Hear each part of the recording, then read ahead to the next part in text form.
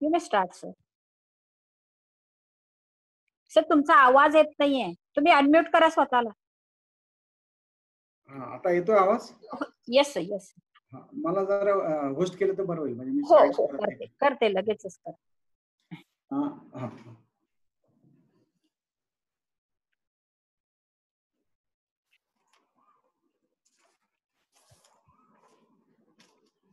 Hello. Yes, let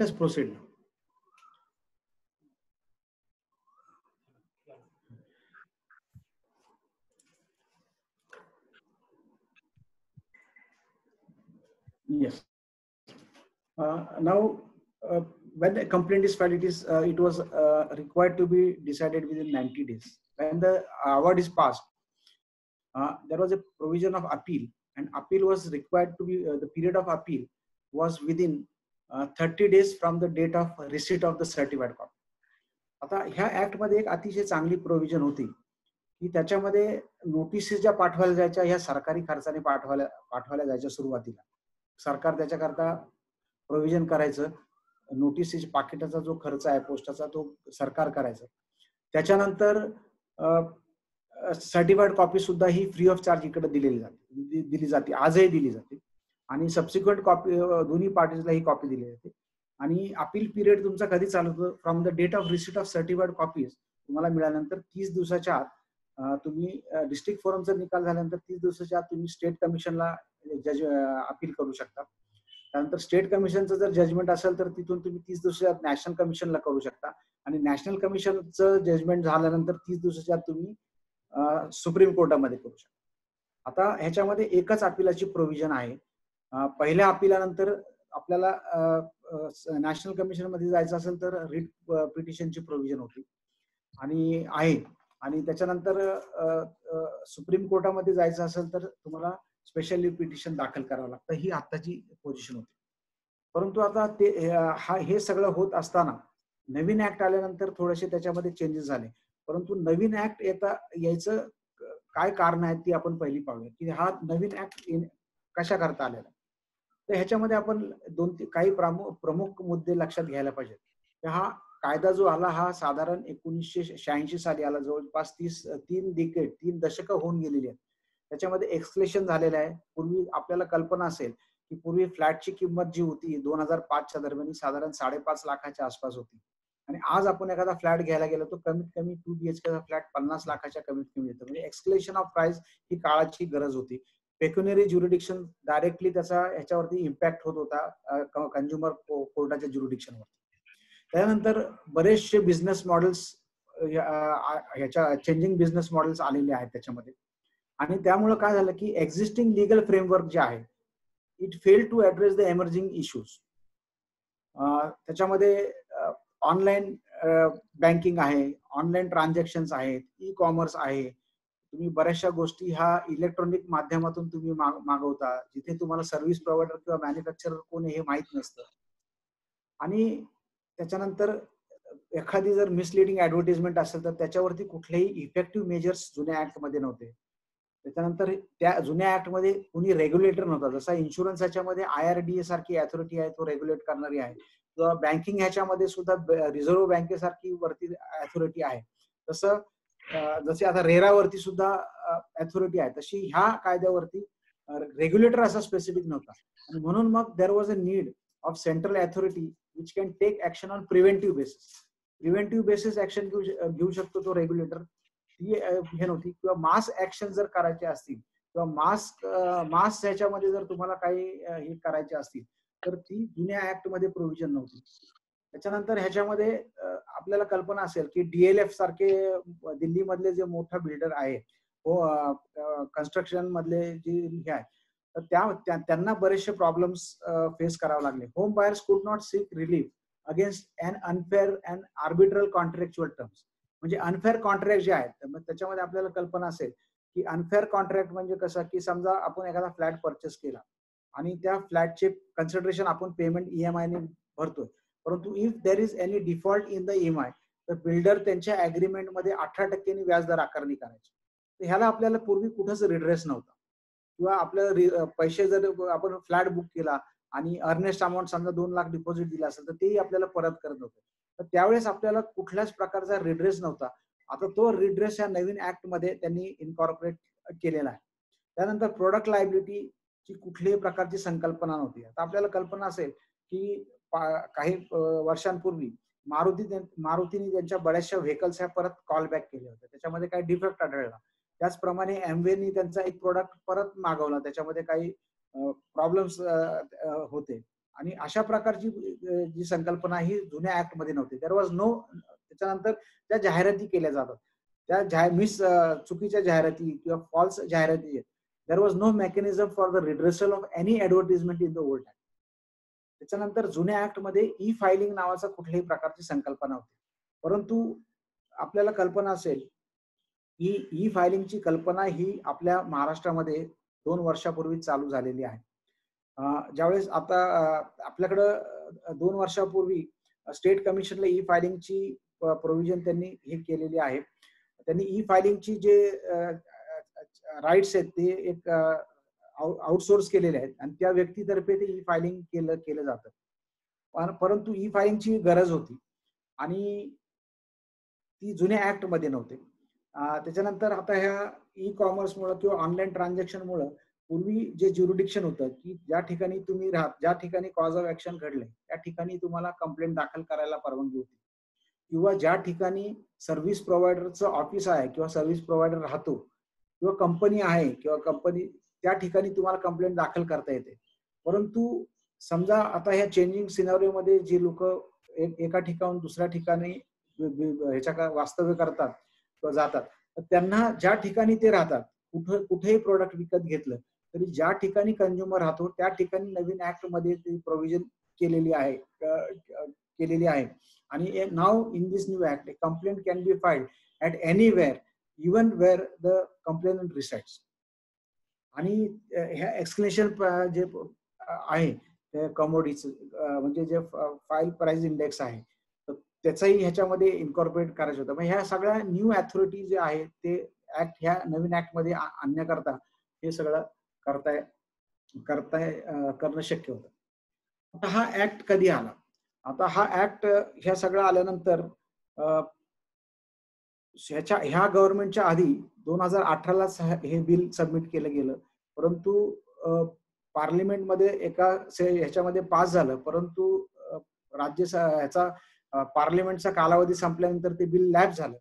त्याच्यानंतर पुन्हा आत्ताचे जे कंझ्युमर चे मिनिस्टर आहेत त्यांनी ते बिल परत हे केलं. आणि हे बिल इंट्रोड्यूस केलं आणि नऊ ऑगस्ट दोन हजार एकोणीसला त्याला प्रेसिडेंटची असेंट मिळाली. हा ऍक्ट अस्तित्वात आलेला आहे. परंतु त्याचं इम्प्लिमेंटेशन अजून आलेलं नाही. ते एप्रिलमध्येच इम्प्लिमेंट हो मध्ये होणार होतं. परंतु आपल्याला कल्पना असेल की कोविड आल्यामुळे साधारण फेब्रुवारी नंतर सगळी यंत्रणा कोलॅप झालेली आहे. त्याच्यामुळे जोपर्यंत रूल्स आणि रेग्युलेशन येत नाही आणि जोपर्यंत गव्हर्नमेंट नोट गॅझेट नोटिफिकेशनमध्ये ते डिक्लेअर करत नाही तोपर्यंत हा हा कायदा अंमलात अंमलात येऊ शकत नाही. तर it will be come into existence only when the government declares in the official gazette आता हे हा जो कायदा आहे ह्याच्यामध्ये थोडस रिडिफायनिंग ऑफ राईट्स आहेत. राईट्स जुनेच आहेत परंतु त्याला थोडस त्यांनी रिडिफाईन केलेलं आहे. तर राईट टू सेफ्टी आहे right to set safety right to be informed, right to be assured, right to seek redressal, right to be heard, right to consumer knowledge, and right to choose. At the right to safety uh, from marketing of goods and services which are hazardous to life and property. And right to be informed regarding quality, quantity, potency, purity, standard, and price of goods and services with the right to be assured of access to a variety of goods or services at competitive prices. Right to seek redressal against unfair or restricted trade practice and or against deficient services. Right to be heard. एखादा जर dispute कंझ्युमरचा असेल तर तो CDRC मध्ये दाखल केल्यानंतर त्याला right ऐकण्याचा हक्क त्याच्यामध्ये त्याला राईट आहे. त्यानंतर एखादं कंझ्युमर रिलेटेड ग्राहक रिलेटेड नॉलेज आहे means to acquire the knowledge हाही त्याला राईट दिलेला आहे. आणि कुठली वस्तू त्याला विकत घ्यायची कुठली वस्तू चूज करायची हाही राईट त्या नवीन ह्याच्यामध्ये दिलेला आहे. आता हा जो नवीन कायदा आला त्याच्यामध्ये आता जुन्या कायद्यामध्ये मी सांगितले की त्याच्यामध्ये फक्त चार चॅप्टर्स होते आणि एकतीस सेक्शन्स होते. आता हा जो नवीन कायदा आलेला आहे ह्या नवीन कायद्यामध्ये थोडेसे चॅप्टर्स वाढलेले आहेत. पहिले चार चॅप्टर तसेच ठेवून त्याला काही डेफिनेशन्स ऍडिशन करून आणखीन चार चॅप्टर्स त्याच्यामध्ये प्रामुख्याने त्यांनी ऍड केलेले आहेत. ते कुठले ते आपण पाहूयात पुढे. परंतु हा नवीन कायदा केला त्याच्यामध्ये काय कव्हर केलेलं आहे? तर नवीन कायद्यामध्ये ई कॉमर्सचे जे ट्रान्झॅक्शन आहेत ते कव्हर केलेले आहेत. नवीन कायद्यामध्ये ई फायलिंग ऑफ कंप्लेंट त्याची प्रोव्हिजन केलेली आहे. त्याच्यानंतर इस्टॅब्लिशमेंट ऑफ सीसीपीए म्हणजे consumer central consumer protection authority ही इस्टॅब्लिशमेंटची प्रोव्हिजन त्याच्यामध्ये केलेली आहे. त्याच्यानंतर प्रॉडक्ट लायबिलिटी जी आहे म्हणजे जो प्रोडक्ट आहे जो मॅन्युफॅक्चरर आहे तो सर्व्हिस प्रोव्हायडर आहे किंवा जो सेलर आहे त्याची लायबिलिटी डिफाईन केलेली आहे. वेगळा त्याच्याकरता वेगळा चॅप्टर केलेला आहे. अनफेअर ट्रेड प्रॅक्टिसेस परत रिडिफाईन केलेले आहेत आणि पॅनल्टीज आणि ते त्याच्याकरता वेगळा चॅप्टर केलेला आहे. तर पॅनल्टीज ह्या वेगवेगळ्या ह्याच्या करताय पिनल कॉन्सिक्वेन्सेस आहेत. मिसलिडिंग ऍडव्हर्टाइजमेंट करता आहेत. ज्या जाहिराती केल्या जातात. जे आपण पाहतो की बरेचसे सेलिब्रिटी किंवा काही लोक जाहिराती करतात आणि त्या जर फसव्या जाहिराती असतील आणि त्या जाहिरातीप्रमाणे तो प्रोडक्ट नसेल तर त्याला पूर्वी कुठली कुठलीही मेकॅनिझम नव्हती किंवा त्याला कुठलेही इंडिव्हिज्युअली आपल्याला तो रिड्रेस अवेलेबल नव्हता कंझ्युमरला आता अशा प्रकारचा रिड्रेस हा नवीन ऍक्टमध्ये दिलेला आहे. आपण सुमोटो करू शकतो. आपण त्याच्याकरता विकत घेतलेली वस्तू वस्तू नसेल तरी आपण कंप्लेंट करू शकतो. किंवा सीसीपीए अथॉरिटी सुद्धा करू शकते. किंवा गव्हर्नमेंटही कंप्लेंट करू शकते. अशा प्रकारचं ते आहे. आता हा जो नवीन ऍक्ट आहे त्याच्यामध्ये थोडेसे डेफिनेशन्स वाढलेले आहेत. डेफिनेशन्स सत्तेचाळीस पर्यंत नवीन डेफिनेशन्स त्यांनी ऍड केलेले आहेत. आता चॅप्टर टू मध्ये कन्झ्युमर प्रोटेक्शन काउन्सिल्स हे दोन्हीकडे सेम आहेत. तीन प्रकारचे काउन्सिल्स आहेत. एक स्टेट डिस्ट्रिक्ट फोरमच्या लेवलला आहे. एक स्टेट कमिशनच्या लेवलला आहे आणि एक नॅशनल कमिशनच्या लेवलला आहे. त्या त्या ठिकाणी एक काउन्सिल बनवलेले आहे and they are working in the advisory capacity हे गव्हर्नमेंटला कंझ्युमरचं हितरक्षण करण्याकरता वेगवेगळ्या ऍडवायसेस देण्याची. It is only in advisory capacity आता as far as consumer redressal agencies is concern हा जुन्या ऍक्ट मधला आहे तसाच ठेवलेला आहे. पण याच्यामध्ये थोडासा एक फरक केलेला आहे. आता नवीन ऍक्टमध्ये ज्या ह्या लोकांच्या नेमणुका ज्या करणार आहेत ते प्रेसिडेंट असतील किंवा मेंबर्स असतील ह्या गव्हर्नमेंट थ्रू नेमणुका होणार आहेत. त्याचे क्वालिफिकेशन जोपर्यंत रूल्स येत नाही तोपर्यंत आपल्याला माहीत नाही. पूर्वीच्या ह्याच्यामध्ये तो त्यांची नेमणूक कशी होणार त्यांचे क्वालिफिकेशन काय असणार ते ऑलरेडी त्या ऍक्ट मध्येच दिलेलं आहे. परंतु ह्या नवीन ऍक्टमध्ये कोण व्यक्ती नेमली जाणार त्याचं क्वालिफिकेशन काय असणार कोणाला नेमणार? त्याच्या संदर्भात अजूनही डिस्क्लोजर नाहीये. किंवा जोपर्यंत आपल्याला थोडस थांबावं लागेल you have to wait till the rules and the regulation are formulated by the government त्यानंतर नवीन जी अथॉरिटी मी मेन्शन केले हा तीन नंबरचा जो चॅप्टर आहे हा पूर्णपणे consumer central consumer protection authority ह्यांनी दिलेला आहे. त्याच्यामध्ये सेपरेट सेक्शन्स आहेत. सेक्शन दहा ते सेक्शन सत्तावीसमध्ये तो एमएल केलेला आहे. आता ह्या सेंट्रल अथॉरिटीची काय काम आहे ते आपण सविस्तर पुढे पाहूया. परंतु डिस्ट्रिक्ट कलेक्टरला सुद्धा पॉवर्स आहेत. त्यांच्याकडे कंप्लेंट करायचे काही पॉवर्स त्यांच्याकडे दिलेले आहेत.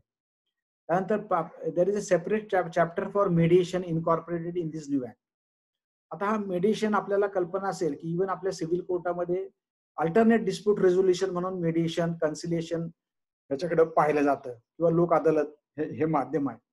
आता मग हे ह्याच्यामध्ये प्रामुख्याने का इन्क्लूड केलं हे महत्वाचं आहे. आता जर नव्वद दिवसामध्ये जर एखादा डिस्प्यूट डिसाईड होणार असेल सेटल होणार असेल तर मग ही मिडिएट मिडिएशनची प्रोव्हिजन का केली गेली हे थोडस आपल्याला कळायला अवघडच आहे. म्हणजे ठीक आहे ती प्रोव्हिजन केली परंतु आता हे मेडिएटर प्रत्येक म्हणजे मिडिएशन कुठं कुठं होणार? तर हे मिडिएशन डिस्ट्रिक्ट लेवलला होणार स्टेट लेवलला होणार आणि नॅशनल कमिशन नॅशनल लेवलला होणार. मग तिथे प्रत्येक कंझ्युमर कमिशन जे आहे सीडीआरसी जे आहे त्या प्रत्येक सीडीआरसीला एक मिडिए मिडिएशन सेल असेल. आणि त्या मिडिएशन सेलमध्ये मिडिएटरची अपॉइंटमेंट केली जाईल. आता हे मिडिएटर कोण असणार आहे? कसे असणार आहेत? त्यांचं क्वालिफिकेशन काय असणार आहे? ह्यावरती अजूनही आपल्याला काही there is no clarity on this particular subject जोपर्यंत आपल्याला रूल्स येत नाहीत किंवा जोपर्यंत रेग्युलेशन येत नाही तोपर्यंत मेडिएशनच्या संदर्भात कोण असणारे मेडिएटर हे कळणार नाही. परंतु जी प्रोव्हिजन आहे ती खरंच चांगली आहे. समजा जर एखादी जे मॅटर असेल तर ती जर मेडिएशन आता मेडिएशन कधी होतं तेही आपण पाहू त्यानंतर ह्या ऍक्टमध्ये प्रथमच प्रोडक्ट लायबिलिटी इंट्रोड्यूस केलेली आहे. म्हणजे जो मॅन्युफॅक्चरर आहे जो प्रोडक्ट आता समजा आपण एखादे ऑनलाईन आपण एखादा एखादी वस्तू मागवली. आपल्याला माहीत नसतं त्याचा सर्व्हिस प्रोव्हायडर कोण आहे? मॅन्युफॅक्चरर कोण आहे? किंवा एजन्सी तर्फे आली? का कशी आली हे आपल्याला माहीत आहे. मग ही प्रॉडक्ट लायबिलिटी डिसाईड होत नव्हती पूर्वीच्या कायद्यामध्ये. तर त्याच्याकरता सेपरेट प्रॉडक्ट लायबिलिटी हे नवीन त्याच्यामध्ये इंट्रोड्यूस केलेलं आहे. त्याच्यामध्ये वेगळा चॅप्टर सहा मध्ये तो इंडक्ट केलेला आहे. आणि त्याचे separate section eighty two to eighty seven त्याच्यामध्ये इनेक्ट केले आहे आणि ह्या ऍक्टमध्ये प्रथमच ऑफेन्सेस अँड पेनल्टीज हे केलेली आहे इंट्रोड्यूस केलेली आहे. त्याच्यामध्ये मिसलिडिंग ऍडव्हर्टिजमेंट असेल किंवा सीसीपीएने एखादी ऑर्डर केली आणि ती ऑर्डर जर फॉलो केली नाही तर त्यालाही पिनियल प्रोव्हिजन असेल. अशा वेगवेगळ्या पिनल प्रोव्हिजन अगदी स्ट्रिंजंट प्रोव्हिजन केलेले आहेत. त्याच्यामध्ये इम्प्रिझनमेंट आहे लाईफ इम्प्रिझनमेंट आहे. त्याच्यामध्ये पॅनल्टी लाखामध्ये पॅनल्टीज त्याच्यामध्ये दंड त्याला आकारणी केलेली. आणि मिसलेनियस सेक्शन हा पूर्वीच्या ऍक्ट सारखी ह्याच्यामध्ये पण आहे की त्याच्यामध्ये सेंट्रल गव्हर्नमेंटला पॉवर्स दिलेले आहेत की तुम्ही कंझ्युमर प्रोटेक्शनच्या हिताच्या दृष्टिकोनातून वेगवेगळे कायदे त्याच्यामध्ये एनेक्ट करा. आता आणखीन आता आपण जस्ट पाहिलं की दोन्ही ऍक्ट मधले अगदी मोजक्या ह्याच्यामध्ये जो डिफरन्स आहे की जुन्या कायद्यामध्ये सेपरेट रेग्युलेटर नव्हता. नवीन जो काय कायदा जो आहे दोन हजार एकोणीसचा त्याच्यामध्ये consumer central consumer protection authority ही फॉर्म केलेली आहे. म्हणजे ती संकल्पना त्याची आहे. पूर्वी ज्युरिडिक्शनच्या बाबतीमध्ये कंप्लेंट आपण कुठं कुठं फाईल करावं लागायची? कंप्लेंट uh, युज ज्या ठिकाणी डिफेंडंट uh, किंवा समजा इन्शुरन्स कंपनी असेल तर इन्शुरन्स कंपनीचं ऑफिस कुठे असेल किंवा कुठे त्याचं हेड ऑफिस असेल किंवा ज्या ठिकाणी कॉज ऑफ ऍक्शन आहे त्या ठिकाणी तुम्ही कंप्लेंट दाखल करू शकत होता. परंतु नवीन ऍक्टमध्ये ही नवीन प्रोव्हिजन केलेली की where the complaint resides or where he works त्या ठिकाणूनही तो नवीन हे करू शकता. आता ही जी संकल्पना आहे ही थोडीशी मी पाठीमागे जातो. आपल्याला कल्पना असेल पूर्वी मोटर व्हेकल ऍक्ट होता. मोटर व्हेकल ऍक्ट जो होता हो नाईन्टीन थर्टी नाईनचा ऍक्ट होता. त्याच्यानंतर फर्स्ट टाइम एकोणीसशे ब्याण्णव साली त्याच्यामध्ये नो फॉल्टची प्रोव्हिजन आली. परंतु पूर्वी जो ऍक्ट आपल्याला कल्पना असेल मोटर व्हेकल कायद्यामध्ये ज्यावेळेस नवीन मोटर ऍक्सिडेंट ट्रायब्युनल्स अस्तित्वात आले त्याच्यामध्ये तुम्हाला कंप्लेंट ज्या ठिकाणी ऍक्सिडेंट झाला त्या ठिकाणीच तुम्हाला क्लेम कॉम्पन्सेशनचा दाखल करावा लागत असेल परंतु नवीन एकोणीसशे अठ्ठ्याऐंशी कायदा आला त्यांनी ते झिरो डिक्शन काढून टाकलं. म्हणजे फॉर एक्झाम्पल पूर्वीच्या ऍक्टमध्ये प्रॉब्लेम असा होता. समजा एखादा व्यक्ती आहे समजा ड्रायव्हर आहे पंजाबचा आणि तो गाडी घेऊन इकडे मद्रासला चाललेला आहे. आणि मद्रासला जाताना त्याचा कुठेतरी सोलापूरमध्ये जर समजा ऍक्सिडेंट झाला आणि त्याच्यामध्ये त्याला काही इंजुरी झाली किंवा तो व्हिक्टिम झाला किंवा त्याचा त्याच्यामध्ये तो दगावला गेला तर त्याच्या वारसांना पूर्वी क्लेम करण्याकरता महाराष्ट्रामध्येच क्लेम दाखल करावा लागायचा. जे सोलापूर हद्दीतलं जे ज्युरिडिक्शन आहे त्या कोर्टामध्ये क्लेम दाखल करावा लागायचा. आणि नंतर त्याला जर जर ट्रान्सफर करायचा असेल तर त्याला हायकोर्टामध्ये पिटिशन दाखल करावं लागायचं. तिथून त्याला ते ट्रान्सफर करून तो ज्या ठिकाणी राहतो त्या ठिकाणी ते ट्रान्सफर केलं जायचं. अशी एकोणीसशे अठ्ठ्याऐंशीचा जो ऍक्ट एकोणीसशे अठ्ठ्याऐंशी पूर्वीचा जो ऍक्ट होता त्याच्यामध्ये ती प्रोव्हिजन होती. परंतु नवीन ऍक्टमध्ये त्यांनी ज्युरिडिक्शन दिलं तिथेही where the complete where the cause of action have arisen where the opponent resides, where the owner resides, where the insurance company's office is, or where the owner resides. असे सगळे ती provision इथं applicable केलेली दिसते. आणि त्याच्याप्रमाणे तो consumer कुठेही राहत असेल तो त्या ठिकाणी तो करू शकतो. त्यानंतर ज्युरिडिक्शन मी सांगितलं की तीस वर्षामध्ये जे हे झालेलं आहे पैशाचं अवमूल्यन झालेलं आहे. म्हणून ते ज्युरिडी आता आता हे ज्युरिडिक्शनचा आणखीन एक गमतीशीर मुद्दा ह्या ठिकाणी मी जस्ट मेन्शन करतो बाय द वे की समजा एखादा फ्लॅट आहे तीन व्यक्तींनी फ्लॅट घेतलाय. एकाने वन बीएचकेचा एका बिल्डिंगमध्ये घेतलाय एकाने टू बीएचकेचा घेतलाय आणि एकाने तीन बीएचकेचा घेतलेला आहे. आणि एकाच्या वन बीएचके फ्लॅटची किंमत पंधरा हजार पंधरा लाख रुपये आहे. टू बीएचकेच्या फ्लॅटची किंमत पंचेचाळीस लाख रुपये आहे. आणि थ्री बीएचकेची फ्लॅटची किंमत ही समजा नव्वद लाख रुपये आणि ह्याच्यामध्ये जर समजा काय डिफेक्ट्स असतील किंवा कम्प्लिशन झालेलं नसेल किंवा एनी रिड्रेस ह्याच्या बिल्डरच्या अगेन्स्ट असेल तर पूर्वी तिघांनाही वेगवेगळे ज्युरिडिक्शन होते. ज्याचा फ्लॅट पंधरा लाखाचा होता त्याला डिस्ट्रिक्ट फोरममध्ये दाखल करावं लागायचं. ज्याचा फ्लॅट पंचेचाळीस लाखाचा आहे त्याला मुंबईला किंवा स्टेट कमिशनला दाखल करावं लागायचं. ज्याचा एक नव्वद लाखाचा आहे त्याला त्या ठिकाणी दाखल करावं म्हणजे एकाच रेमेडीसाठी तुम्हाला वेगवेगळ्या ठिकाणी करावं लागायचं. आणि मग रुपयाचं अवलंबून तीन तीस वर्षामध्ये रुपयाचं अवमूल्यन झालेलं आहे. आणि म्हणून मध्ये ज्युरिडिक्शन वाढवलेलं आहे. आणि आता डिस्ट्रिक्ट फोरमचं जे पूर्वी पाच लाखाचं डिस्ट्रिक्ट आधी नवीन कायदा आला त्यावेळेस पाच लाखापर्यंत ज्युरिडिक्शन होतं. ते ज्युरिडिक्शन वीस लाखापर्यंत दोन हजार तीनच्या अमेंडमेंटने नेलं. आणि आता ते ह्या नवीन अमेंडमेंटने ते ज्युरिडिक्शन एक कोटीपर्यंत गेलेलं आहे. हे ज्युरिडिक्शन मगाशी मी सांगितल्याप्रमाणे डिस्ट्रिक्ट फोरमचं जे आहे ते एक कोटी कोटीपर्यंत गेलेले आहे. स्टेट कमिशनचं हे दहा कोटीपर्यंत गेलेलं आहे. आणि दहा कोटीच्या वरती असेल तर नॅशनल कमिशनला ते ज्युरिडिक्शन आले म्हणजे इतर वायडर हे झालंय त्याच्यामुळे सामान्यातला सामान्य माणूस हा जिल्हा ग्राहक कमिशनकडं आपली स्वतःची कंप्लेंट दाखल करू शकतो. आता पूर्वीच्या ह्याच्यामध्ये मिडिएशनची प्रोव्हिजन नव्हती. आणि नवीन ऍक्टमध्ये ती मिडिएशनची प्रोव्हिजन त्यांनी केलेली आहे. आता हा जो नवीन ऍक्ट जो केलेला आहे त्याच्यामध्ये आपण बघितलं की मी मगाशी सांगितलं की सत्तेचाळीस डेफिनेशन आहेत. तर ह्या नवीन ह्याच्यामध्ये ज्या डेफिनेशन आहेत काही ऍडव्हर्टिजमेंटचे डेफिनेशन आहे. डिझाईन आहे डायरेक्ट सेलिंग आहे एन्डोर्समेंट आहे प्रोडक्ट म्हणजे काय प्रोडक्ट लायबिलिटी म्हणजे काय सर्व्हिस सर्व्हिस प्रोव्हायडर म्हणजे काय इलेक्ट्रॉनिक सर्व्हिस प्रोव्हायडर म्हणजे काय प्रोडक्ट मॅन्युफॅक्चरर म्हणजे काय प्रोडक्ट सेलर म्हणजे काय ई कॉमर्स म्हणजे ह्या डेफिनेशन आहेत. ह्या डेफिनेशनमध्ये आता आपण आपण त्याच्याकडे नंतर घेऊया आता एवढा वेळ आपल्याला ते एक्सप्लेन करायला त्याला त्याला पूर्ण एक सेशन द्यावा लागेल. प्रत्येक डेफिनेशनचा अर्थ समजून घ्यावा लागेल. परंतु ह्या मोघम डेफिनेशन आहेत ह्या नवीन नवीन ऍक्टमध्ये इन्कॉर्पोरेटेड केलेल्या आहेत. आता आपण प्रथम हे बघूया की हा जो नवीन हे केलेला आहे सेंट्रल कंझ्युमर प्रोटेक्शन अथॉरिटी जो केलेला आहे सेपरेट चॅप्टर त्याच्यामध्ये आहे. तर it is now set up to promote protect and enforce the right of the consumers आता यांचं मेन फंक्शन काय? Main function to regulate regulate काय? रेग्युलेट कंझ्युमर कंझ्युमर प्रोटेक्शन करणं हे रेग्युलेट करणं. त्यांच्याकडे जर एखादी तक्रार केली तर त्यांना इन्व्हेस्टिगेशन पॉवर्स दिले. ते स्वतः तपास करू शकतात. कशा पद्धतीने तपास करायचा त्याच्यावरती अजून डायरेक्ट डायरेक्शन याच्यात किंवा ते रेग्युलेशन्स याच्यात ते इन्क्वायरी करू शकतात. समजा मी एखाद्या प्रोडक्ट प्रोडक्टच्या विषयी किंवा एखाद्या मॅन्युफॅक्चरच्या विषयी तक्रार केली. मी त्याच्याकरता समजा I need not be a consumer मी त्याच्या काय पे कन्सिडरेशन किंवा पेमेंट करायला पाहिजे असं काय नाही. समजा एखादं लॉन्च झाली आणि त्याच्यामध्ये त्या गाडीचा भरपूर धूर निघत असेल आणि त्रास होत असेल तर I can also approach the CCPA and file a complaint against that particular mischief or against that particular defect or deficiency मग त्याच्यानंतर ते त्या विरोधी पार्टीला ते नोटीस देऊ शकतात. त्याच्या विरुद्ध तक्रार करू शकतात. आणि मग तक्रार केल्यानंतर त्याच्यावर दे आर हिअरिंग घेतल्यानंतर ते ऑर्डर पास करू शकतात. त्याच्यामध्ये मग ते रिएम्बर्समेंटची ऑर्डर करू शकतात. काही डायरेक्शन देऊ शकतात की बाबा तू प्रॉडक्ट बदलून दे किंवा मग काही पेनल्टीज त्याच्यावरती इम्पोजन करू शकतात. तथापि ते आणखीनही एक पॉवर्स त्यांना आहे की एखादा प्रोडक्ट समजा मिसगायडिंग ऍडव्हर्टिजमेंट आहे किंवा एखादा एखादी व्यक्ती ती चुकच्या पद्धतीने जाहिरात करते आहे तर त्याला ते बाबा तू ह्याच्यापासून परावृत्त करण्याकरता Uh, regulator uh, authority can issue notice and they have a right to produce the androser त्याच्यानंतर आता हे जे आपले डिस्ट्रिक्ट कंझ्युमर फोरम आहे त्याच्यामध्ये आपण जे कुठले कंप्लेंट दाखल करू शकतो ते आताच मेन्शन केलेलं आहे आपण. Unfair trade practice defective goods और डिफेक्टिव्ह सर्व्हिसेस आता ह्याच्यामध्ये ओव्हर चार्जिंग आहे ऑफरिंग ऑफ सर्व्हिसेस आहे गुड्स आहे for sale which may be hazardous to life and safety complaint challenging against an unfair contract which can only be filed with the state and national commission.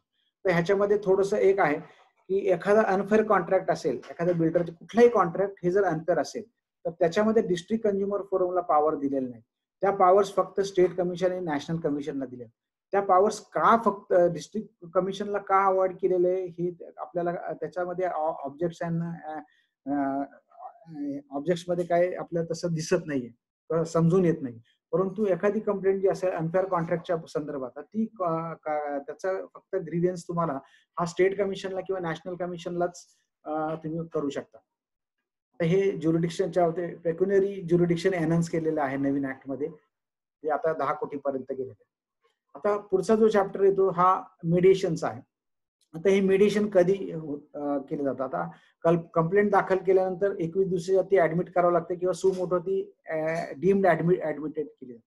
आता complaint admit केल्यानंतर within पाच दिवसात जर तुम्ही complaint दाखल केल्यानंतर समजा दोन्ही पार्टीनी जर ऍग्री केले समजा एखादा इन्शुरन्सचा डिस्प्यूट आहे. माझी गाडी समजा डॅमेज झालेली आहे आणि मी रिपेअरला टाकली आणि माझ्या रिपेअरचा खर्च समजा पन्नास हजार झालेला आहे आणि मला इन्शुरन्स कंपनीने वीस हजार रुपये ऑफर केले. तर मी तीस हजारच्या डिस्प्यूट करता कंझ्युमर कोर्टात आल्यानंतर मी if I am willing and even the insurance company is willing they can both go for mediation दोन्ही पार्टी ह्याच्या मिडिएशनचा एक सगळ्यात महत्त्वाचा ऑब्जेक्ट हे आहे. की त्याच्यामध्ये both parties should give consent जर कन्सेंट नसेल तर मिडिएशन होणार नाही. मिडिएशन होऊ शकत नाही. पण एक ट्राय जर दिला त्याच्यामध्ये दोन्ही पार्टीजनी जर हे केलं तर प्रत्येक कमिशनला जे मिडिएशन सेल्स आहेत त्याच्यामध्ये मिडिएटर असणार आहेत. मग ती फाईल ते mediator-कडे अलॉट केली जाते. Mediator will be appointed mediator त्या दोघांच्या समोर बसून समेट घडून आणायचा प्रयत्न करेल. दोघांची बाजू ऐकून घेईल. जे काही रुल्स अँड रेग्युलेशन असेल त्याप्रमाणे तो त्याचं हे करेल. आणि आप- ते हे समेट होत असेल तर तो तसा रिपोर्ट सबमिट करेल. समेट होत नसेल मेडिशन होत नसेल तर तसा तो रिपेअर तयार करेल. आणि मग he is required to submit is report to concerned commission आणि कमिशनकडे गेल्यानंतर तो रिपोर्ट प्राप्त झाल्यापासून म्हणजे एक आठवड्याच्या आत त्या कमिशनने त्याच्यावरती ऑर्डर ऑर्डर करावी असे मेडिशनच्या ह्याच्यामध्ये प्रावधान आहे. त्याच्यानंतर नवीन जो इश्यू आहे हा प्रोडक्ट लायबिलिटीचा आहे. आता ही प्रोडक्ट लायबिलिटी म्हणजे काय? Product liability means the liability of a product manufacture म्हणजे जो प्रोडक्ट एखाद्या मॅन्युफॅक्चर केलेला आहे. समजा एखादी गाडी जी आहे समजा मारुतीने एखादी गाडी हे केलेली आहे किंवा मारुतीचा डीलर ती गाडी विकतो किंवा मारुती विकण्याकरता एखादा सर्व्हिस प्रोव्हायडर आहे आणि त्याच्याकडनं जर आपण घेतलं त्या प्रोडक्टच्या बद्दल काय प्रॉब्लेम असेल तर it has to be compensated if the goods or services cause injury आता ह्याच्यामध्ये इंजुरी जर झाली तर इंजुरी दोन प्रकारची असू शकते. एक इंजुरी म्हणजे अगदी त्याच्यामध्ये डॅमेज व्हायलाच पाहिजे असं नाहीये. किंवा त्याच्यामध्ये ग्रिव्हियस इंजुरी असू शकते किंवा डेथ पण होऊ शकते आणि तुमच्या हे- पण होऊ शकते. हार्म पण होऊ शकतो कंझ्युमरला in the event of goods or services turn to be of a poor quality or defective मग त्याच्यामध्ये प्रॉडक्ट लायबिलिटीमध्ये प्रावधान केलेलं आहे. To claim compensation compensation uh, a consumer has to prove only one of the conditions for deficiency as given in the act. आता शेवटचा जो chapter आहे तो ऑफेन्सेस अँड पॅनल्टीज हा ह्या- पूर्वीच्या ऍक्टमध्ये ही कुठंच संकल्पना नव्हती. आता ह्याच्यामध्ये वेगवेगळे पिनल प्रोव्हिजन्स केलेले आहेत. आता सेंट्रल अथॉरिटीने काही डायरेक्शन दिले दिले एखाद्या ह्याला सर्व्हिस प्रोव्हायडरला किंवा मॅन्युफॅक्चररला आणि त्या जर त्यांनी कंप्लाय केले नाही अंडर सेक्शन वीस आणि वीस आणि एकवीसच्या अंडर त्यांनी ऑर्डर पास केल्या. आणि ते जर कंप्लायन्स झाले नाही तर त्या नॉनसाठी त्याला साधारण सहा महिन्यापर्यंत सजा इम्प्रिझनमेंट आणि fine up to twenty lakh rupees होऊ शकतो. त्याच्यानंतर मिसलिडिंग ऍडव्हर्टिजमेंट आहेत. हे मॅन्युफॅक्चर जो करतो म्हणजे एखादा प्रोडक्ट चांगला आहे समजा फेअर अँड लवलीचं आपण उदाहरण घेतलं. तर फेअर अँड लवली किंवा एखादा प्रोडक्ट आहे त्यांनी सांगितलं "बा, हे तुम्ही लावा तुमचे केस गळणार नाही किंवा जी मिसलिडिंग ऍडव्हर्टिजमेंट आहे त्याप्रमाणे नसेल आणि त्याच्या विरुद्ध जर जर कंप्लेंट केली आणि त्याच्या विरुद्ध जे हे शाबित झाले तर he shall be punish with imprisonment up to two years and fine up to ten lakh rupees मग हे एवढ्या मोठ्या प्रमाणामध्ये सजा करण्याची तरतूद त्याच्यामध्ये आहे. त्यानंतर मॅन्युफॅक्चर आता ह्याच्यामध्ये दोन आणखीन सेक्शन नाईन्टीला आणि नाईन्टी वनला असे दोन नवीन प्रोव्हिजन्स केले आहेत.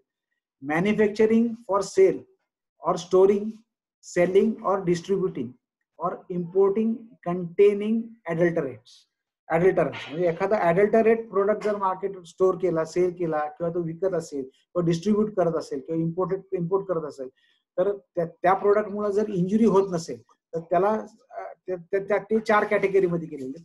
Where there is no injury where there is simple injury where injury causes grievous hurt म्हणजे ग्रिव्हियस हर्ट म्हणजे which is defined under I P I C I C act आणि त्याच्यानंतर डेथ तर ह्याला सहा महिन्या नो इंजुरीला सहा महिन्यापासून आपल्याला हे आहे सक्त मजुरी आणि fine up to one lakh simple injury असेल तर एक लाखापर्यंत एक वर्षापर्यंत सेंटेन्स आहे आणि तीन लाखापर्यंत फाईन आहे. ग्रिव्हियस हर्ट जर असेल तर सात वर्षापर्यंत इम्प्रिझनमेंट आहे पाच लाखापर्यंत दंड आहे. डेथ जर झाली तर सात वर्षापर्यंत सात ते लाईफ इम्प्रिझनमेंटची त्याच्यामध्ये पनिशमेंटची प्रावधान आहे आणि दहा लाखापर्यंत दंड आहे. तसंच तुम्ही मॅन्युफॅक्चरिंग ऑफ सेल्स इम्पोर्टिंग म्हणजे स्पुरियस गुड्स जर आणलं spurious goods is already defined in the act in two thousand तीनच्या अमेंडमेंटमध्ये हा स्पुरियस गुड्स ऍड केलेला आहे ऍक्टमध्ये. तर त्याच्यामध्ये सुद्धा सिमिलर प्रावधान त्याच्यामध्ये केलेलं आहे. ह्याच्यामध्ये सिंपल इंजुरी आहे. त्याला सेम वरती जेवढी आहे सेक्शन नाईन्टीला जेवढी दंड आहे तेवढाच दंड ह्याच्यामध्ये आहे. फक्त नो इंजुरी इंजुरी जर काही नसेल तर त्याच्यामध्ये कुठल्याही प्रकारचे दंड किंवा इम्प्रिझनमेंटचे प्रोव्हिजन नाही आता आपण हा ऍक्ट आला. आता हा ऍक्ट आल्यानंतर ह्या ऍक्टमध्ये काही इन्फर ड्रॉबॅक्स किंवा आणखीन इम्प्रूव्ह करण्याची बरीचशी मोठी ही चान्सेस आहेत. आणि किंवा ह्या ऍक्टमध्ये ही काही इम्परफेक्शन आहेत. आता पहिली गोष्ट म्हणजे आपल्याला कल्पना असेल. मी पहिली शेवटची स्लाइड्स घेतो. त्याच्यामध्ये तुम्हाला. आता आता जी पेंडन्सी आहे पुणे डिस्ट्रिक्ट फोरममध्ये माझ्याकडे जो हे आहे साधारण आम्ही जो कन्फर्नेट आहे त्याच्यावरतून हा डेटा घेतलेला आहे. त्याच्यामध्ये पुणे डिस्ट्रिक्ट आता आपल्याला कल्पना असेल पुण्यामध्ये दोन कोर्ट आहेत. वन इज पुणे पुणे शहरासाठी पुणे डिस्ट्रिक्ट फोरम आहे. पुणे शहरा व्यतिरिक्त जो कंटेनमेंटचा भाग आहे आणि जो जिल्ह्याचा भाग आहे त्याच्याकरता ऍडिशनल डिस्ट्रिक्ट फोरम तर फक्त कंझ्युमर कंप्लेंटचा डेटा वेबवरती अवेलेबल होतो. तर पुण्यामध्ये सोळाशे अठ्ठ्याऐंशी मॅटर्स पेंडिंग आहेत. जिल्ह्याच्या एपीडीएफ ऍडिशनल फोरममध्ये सातशे तेवीस मॅटर्स आहेत. स्टेट कमिशनला टोटल मॅटर जी पेंडन्सी आहे ती चौदा हजार सातशे चौदा चौदा मॅटर आहेत. आणि स्टेट कमिशनचं एक मुख्य बेंच खंडपीठ जे आहे ते मुंबईला आहे. आणि त्याची दोन खंडपीठ जी आहेत ज्याला आपण सर्किट बेंचेस म्हणतो हे नागपूरला एक आहे आणि औरंगाबादला आहे तर नागपूर खंडपीठामध्ये तीन हजार दोनशे एक्क्याऐंशी मॅटर आहेत. आणि औरंगाबाद खंडपीठामध्ये साधारण सहा हजार आठशे तेरा मॅटर तर हे फक्त मी पेंडन्सी दाखवण्याकरता हे केलेलं आहे. तर त्याच्यामध्ये आता हे जे केलेलं आहे तर आता ही जी पेंडन्सी ही का कमी होत नाहीये? जर नव्वद दिवसात प्रोव्हिजन आहे तर एवढी पेंडन्सी का आहे? तर हा जो नवीन ऍक्ट आला दॅट मला असं वाटतं की it has fail to address the issue of pendency pendency कशी संपणार आहे? का संपत नाहीये? ते संपण्याकरता काय उपाययोजना करायला पाहिजे आता मला मी ज्यावेळेस कंझ्युमर कोर्ट पुण्यामध्ये चालू झालं त्यावेळेस पासून मी माझ्या सिनियर पहिली मॅटर ज्यावेळेस आली ही इन्शुरन्सची मॅटर होती. त्यावेळेस कंझ्युमर कोर्ट भवानी पेठेमध्ये तर त्यावेळेस एवढी पहिली मॅटर आल्यानंतर एवढी दहशत होती की इन्शुरन्स कंपनीचे सगळे ऑफिसर सकाळी आठ वाजताच ऑफिसला येऊन बसायचे. आणि मग आमच्या मॅटरचं काय होणार त्याच्याकरता हे काय पण त्यावेळेस परिस्थिती अशी होती की फायलिंग कमी होतं परंतु बऱ्याचशा प्रमाणामध्ये तो जो स्टॅट्युटरी पिरियड दिलेला आहे त्या स्टॅट्युटरी पिरियडमध्ये कंप्लेंट डिस्पोजर झाले परंतु आता जर आपण पाहिलं तर बऱ्याचशा मॅटर पेंडिंग आहेत. आणि सिव्हिल कोर्टाच्या सारख्याच इकडं तारखा दिल्या जातात. साधारण आता आपल्याला कल्पना असेल की पुण्यामध्ये साधारण ऑगस्ट सप्टेंबर ऑक्टोबर पर्यंतच्या तारखा आहेत. आणि नॅशनल कमिशनला तर त्याही त्याहून परिस्थिती वेगळी आहे.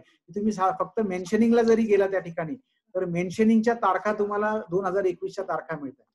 ही परिस्थिती म्हणजे हा नवीन ऍक्टमध्ये हे इश्यू ऑफ पेंडन्सी हा ऍड्रेस झालेला दिसत नाही.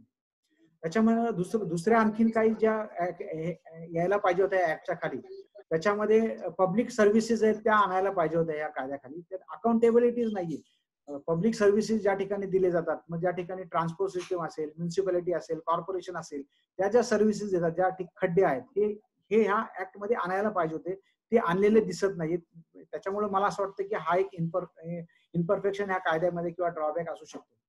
त्याच्यानंतर ह्या आपल्याला कल्पना असेल की एव्हिएशन सेक्टरमध्ये अजूनही कंझ्युमरला निग्लेक्टेड केले कंझ्युमरचा राईट आपल्याला कल्पना असेल की आता हा कोविडचा हे पिरियड आहे आणि बऱ्याचशा लोकांनी फ्लाईटची जी तिकीट काढली होती ते जर कॅन्सल केली तर बऱ्याचशा लोकांना पैसे परत रिफंड मिळाले नाही. किंवा इव्हन नॉर्मल ह्याच्यामध्ये सुद्धा तुम्ही रिफंड जर मागितलं तर तुम्हाला रिफंड अगदी नॉमिनल समजा तुमचं पाच हजार रुपयाचं तिकीट असेल तर तुम्हाला साधारण नॉमिनल पाचशे सहाशे रुपये परत रिफंड मिळतो त्याच्या संदर्भात एव्हिएशन सेक्टरच्या संदर्भात सुद्धा बरंच काही करण्यासारखं होतं. जसं हे बाकीचे प्रोडक्ट लायबिलिटी वगैरे आणले त्या संदर्भात. त्याच्यानंतर आता मी मगाशी मेन्शन केलं की स्ट्रक्चर वाईज हे रिक्रुटमेंट प्रोसेस जी केलेली आहे डिस्ट्रिक्ट स्टेट आणि नॅशनल कमिशनला आता ह्याच्यामध्ये प्रेसिडेंट साहेबांचे किंवा मेंबर्स लोकांचे क्वालिफिकेशन काय असणार आहे तो काय क्रायटेरिया असणार आहे किती वर्ष त्यांचा टर्म असणार आहे आणि त्याचे कसे नोटिफाईड होणार रूल्सनी रुल्सनी होणार. मग ह्या अशा परिस्थितीत ऍक्टमध्ये दिलं असतं तर बरं झालं असतं की सगळ्यांना ओपन झालं असतं. पण असं जर समजा हे पॉवर्स गव्हर्नमेंटकडे ठेवले गव्हर्नमेंट जर अपॉइंट करणार असेल तर त्याच्यामध्ये फेवरेटिझम होऊ शकतं पॉलिटिकल इंटरफिअरन्स असू शकतो कुणाच्या नेमणुका करायच्या कशा करायच्या कुठल्या पोस्टला करायच्या आणि मग त्याच्यामध्ये क्वालिटी कॉम्प्रोमाइज होण्याचे अनेक चान्सेस आहेत असं मला वाटतं. आणि त्याच्यानंतर आणखीन जे मॅटर्स आहेत अनफेअर कॉन्ट्रॅक्टच्या बाबतीत आता अनफेअर कॉन्ट्रॅक्ट जर असेल समजा माझा पुण्यातला फ्लॅट असेल पुण्यातला अग्रीमेंट असेल आणि त्या समजा बिल्डरचं अग्रीमेंट आहे आणि त्या त्या अग्रीमेंटमध्ये किंवा त्या कॉन्ट्रॅक्टमध्ये काही अनफेअर टर्म्स युज केलेले आहेत. तर त्या रिड्रेस करता मी कशा करता स्टेटला जावं किंवा कशा करता नॅशनलला जावं? की नॅशनल डिस्ट्रिक्ट कमिशनला का पॉवर्स दिली नाही? ह्याचाही कुठे उलगडा होत नाही किंवा म्हणजे एम्स अँड ऑब्जेक्टिव्हमध्ये सुद्धा आपल्याला काय ते समजून समजून येत नाही. त्याच्यामुळे त्याच्यावरतून एवढं दिसतं की it indicates that there seems to be a lack of expertise at district commission as a reason for the stipulation he provision district फोरमला पॉवर्स खरंच द्यायला पाहिजे होत्या त्या त्या दिसत नाहीये त्याच्यामध्ये. त्यानंतर पुढचा जो हे आहे measurement of prevent unfair trade practice आणि ई कॉमर्सच्या संदर्भात आहे. सॉरी टू डिस्टर्ब सर हे सेशन आता एक मिनिटात एंड होईल. प्लीज जॉईन अगेन हा ठीक आहे. थोडस राहील आता. आपण काय करूया? कंप्लेंट कशी फाईल करायची? त्या संदर्भात थोडस हे. करूया. आणि हा आणि काय क्वेश्चन आन्सर असेल किंवा काही महत्त्वाचे केस लॉज जे आहेत म्हणजे वकिलांच्या संदर्भात आहेत नवीन ऍक्टमध्ये डॉक्टरांच्या संदर्भात ते थोडस डिस्कस करून we may conclude yes sir yes तर आता मगाशी सांगितल्याप्रमाणे ही फायलिंग ऑफ कंझ्युमर कंप्लेंट जे आहेत इलेक्ट्रॉनिकली आता in view of the technological advancement of digitization the act provides section 35 provides for filing of consumer complaints electronically. Now the statutory provision enumerates that a complaint in relation to any goods sold or delivered or any service provided may be filed with the commission electronically in such a manner as may be prescribed आता ही नवीन ऍक्टमध्ये थोडीशी त्यांनी ही दिलेली आणि हा थोडासा strata या कुठल्या प्रकारचे मॅटर्स दाखल आहेत आता आपल्या नॅशनल कमिशनला जर पाहिले कुठले मॅटर्स आता हे हे मी नॅशनल कमिशनच्या वेब कॉन्फरन्सच्या वेबसाईट वरतून गेलेले की मॅक्झिमम मॅटर्स जे नॅशनल कमिशनला आता पेंडिंग ते हाऊसिंग रिलेटेड पन्नास टक्के बावन्न टक्क्यापेक्षा जास्त मॅटर्स हे हाऊसिंग रिलेटेड आहेत. इन्शुरन्स सेक्टरच्या संदर्भात साधारण सतरा टक्केपेक्षा जास्त मॅटर्स आहेत. मेडिकल रिलेटेड किंवा हेल्थकेअर संदर्भात ज्या मॅटर्स आहेत त्या साधारण सहा टक्क्याच्या आसपास आहेत सहा पॉईंट तीन. बँकिंग रिलेटेड मॅटर जे आहेत त्या सहा पॉईंट सहा पर्सेंटच्या आसपास आहेत. सर्व्हिस रिलेटेड मॅटर जे आहेत ते साधारण तीन पर्सेंटच्या आसपास आहेत. फायनान्सच्या one point two percent electricity one one percent transport point six percent railways point five four percent airlines point five four percent आणि अदर्स जे आहेत तर ह्या टेन पॉईंट थर्टी एट आहेत. साधारण आपल्याला लक्षात येईल की साधारण मॅक्झिमम मॅटर ज्या नॅशनल कमिशनला आज ज्या पेंडिंग आहेत ह्या मॅक्झिमम एक तर हाऊसिंग रिलेटेड आहेत किंवा इन्शुरन्स रिलेटेड आहे त्याच्यानंतर महाराष्ट्रामध्ये ज्या मॅटर्स आहेत तोही साधारण जास्त फरकाने एवढंच आहे. महाराष्ट्र महाराष्ट्रामध्ये जे स्टेट कमिशनला आता जी पेंडन्सी आहे त्याच्यामध्ये हाऊसिंग रिलेटेड पंचेचाळीस टक्के आहेत. गव्हर्नमेंट रिलेटेड जे आहेत ते वीस टक्के आहेत. इन्शुरन्स रिलेटेड आहेत ते अकरा टक्के आहेत. बँकिंग रिलेटेड हे आठ ते नऊ टक्के आहेत. फायनान्स रिलेटेड दोन ते तीन टक्के आहेत. इलेक्ट्रिसिटीच्या संदर्भात साधारण एक ते दोन टक्का आहे. ऍग्रिकल्चरच्या संदर्भात म्हणजे